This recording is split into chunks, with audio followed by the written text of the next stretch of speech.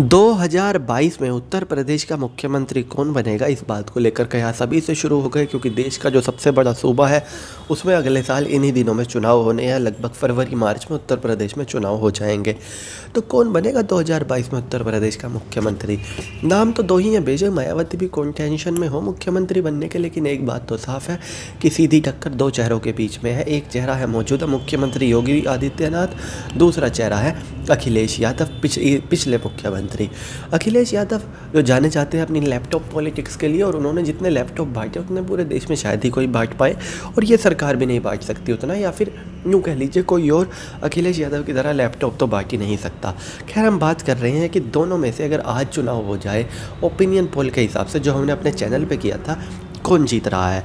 तो हमने अपने चैनल पे एक पोल डाला था कल की तारीख में कि उत्तर प्रदेश का मुख्यमंत्री 2022 में कौन बनेगा? पहला ऑप्शन दिया था अखिलेश यादव, दूसरा ऑप्शन दिया था योगी आदित्यनाथ।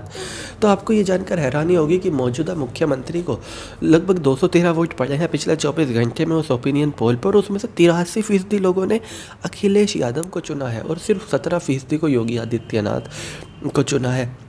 तो अगर इस ओपिनियन पोल के हिसाब से चले तो इसमें आसानी से अखिलेश यादव तो आज की तारीख में मुख्यमंत्री बन रहे हैं, लेकिन ये सिर्फ़ 213 लोगों का पोल है तो इसको ज़्यादा सीरियसली नहीं लिया जा सकता। ये तो सिर्फ़ एक सांकेतिक पोल था।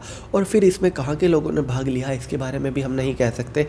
और फिर यूपी के इलेक्शन में कास्ट पॉलिटिक्स रिलीजन पॉलिटिक्स ही हावी रहता है। तो इसलिए इस ओपिनियन पोल के बारे में हम ऐसे नहीं कह सकते कि अखिलेश यादव ही मुख्यमंत्री बनेंगे, लेकिन कुल मिलाकर बात इतनी है कि जो हमने अपने चैनल पे ओपिनियन पोल डाला, उसके हिसाब से अखिलेश यादव मुख्यमंत्री बन जाएँगे। लेकिन शायद इस ओपिनियन पोल में उत्तर प्रदेश के बाहर के ज़्यादा लोगों ने हिस्सा लिया हो, क्योंकि इस तरह से पता नहीं चलता तो इसलिए कुछ कहा नहीं जा सकता, और इसको हम कोई आधार भी नहीं मान सकते। लेकिन क्योंकि हमने कल एक पोल डाला था और उसका रिज़ल्ट अभी आ जाया तो हमने उसके आधार पर ये वीडियो बनाई है।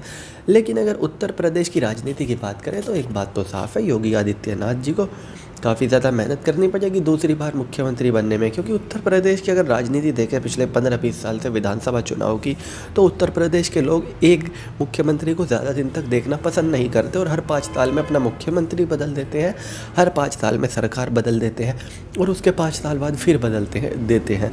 और उत्तर प्रदेश में सरकार बदलने का सिलसिला यूँ ही चल रहा है पिछले पंद्रह बीस सालों से।